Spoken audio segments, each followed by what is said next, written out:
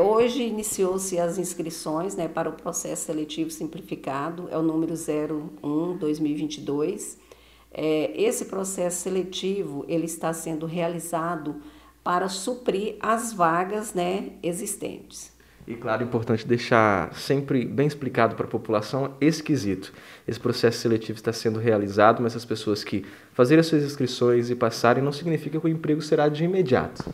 Sim, porque é, nós hoje temos alguns professores contratados, eles foram contratados através do seletivo simplificado que estava em vigência.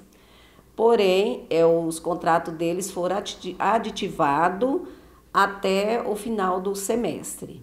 Então, a partir do segundo semestre, aí sim nós já estaremos chamando os classificados no processo seletivo para assumir as vagas existentes.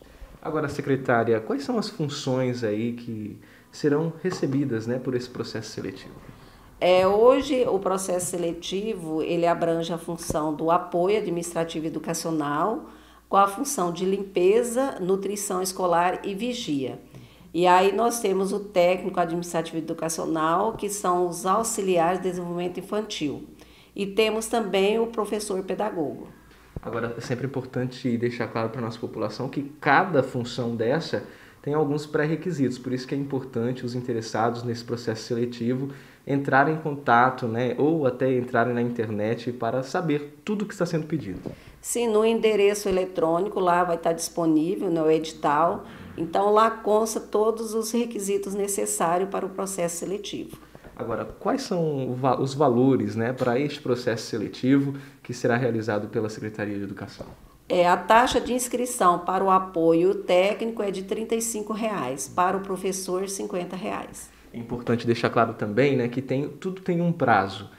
Inicia-se hoje, mas qual é o prazo final para a inscrição desse processo seletivo? As inscrições vão até o dia 4 do 5 no endereço eletrônico. Agora, secretária, é sempre importante nós deixar claro também para a nossa população, né, que esses processos é sempre importante, então a gente aproveita para que a senhora convide né, a população que tem interesse em estar participando desse processo seletivo da educação. Sim, com certeza. É aqueles que tiverem interesse, né, é importante estar participando, né, porque o cadastro de reserva ele atende durante um ano. Aí esse processo seletivo ele pode ser prorrogado para mais um ano.